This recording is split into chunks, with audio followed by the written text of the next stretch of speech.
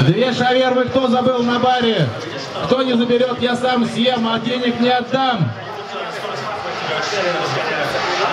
Забирайте эту шаверму.